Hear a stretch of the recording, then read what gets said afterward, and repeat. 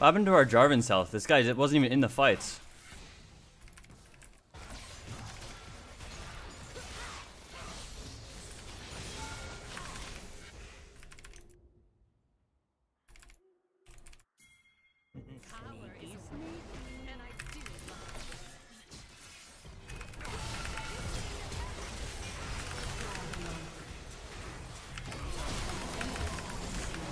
How'd I live?